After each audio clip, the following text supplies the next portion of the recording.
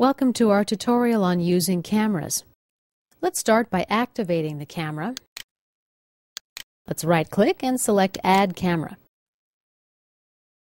Under Camera Type, we can aim it at the target or we can choose a floating camera.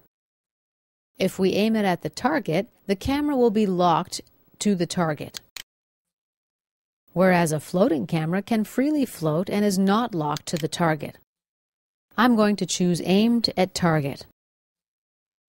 We can grab and drag the target point, or we can simply use the target by selection field. I'm going to select my cap. The next control area is camera position. I can simply grab and drag the camera. I can use these arrows to drag.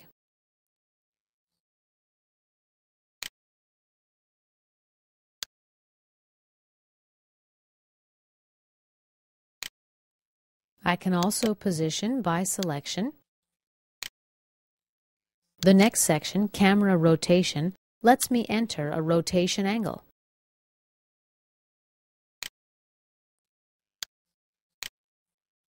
The next control area is called Field of View. We can select a perspective or respective view. From this drop-down menu, we can choose from a number of lens presets. For this example, I'm going to select a 50 mm standard lens. Next is the view angle, the height of the view, and the length of the view, or the distance of the camera to the view rectangle. We can also make adjustments using the slider or pulling these dials.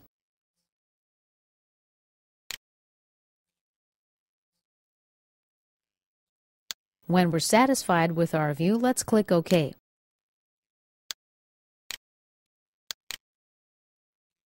Now let's right-click and select Camera View.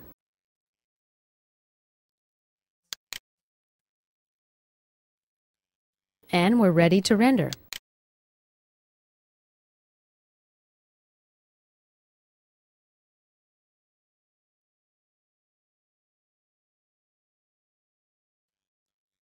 Now we can see our results.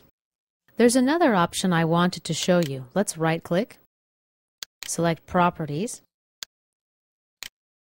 and let's go look at the Depth of Field control area.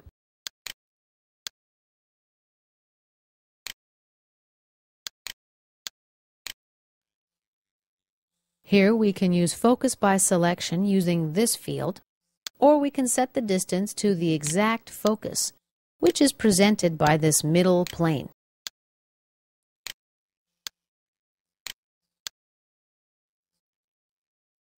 I'm going to set the focus on the cap.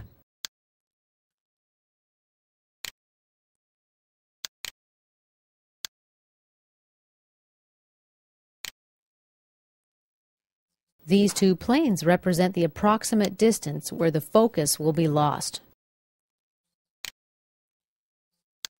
Looks good. Let's click OK. Now let's right click on camera 2 and oh yes, we've already got the camera view selected. Let's render.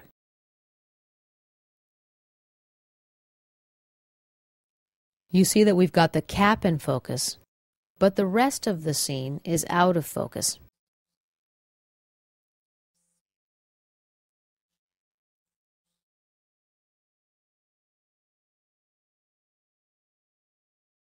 OK, the rendering is complete. As you see, using the camera lets you do more realistic rendering of the scene. Let's right-click and select Properties.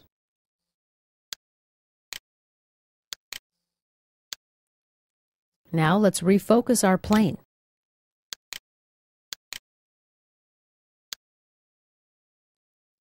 This time, I'll focus the plane on the bottle and the label. Let's click OK. And let's render again.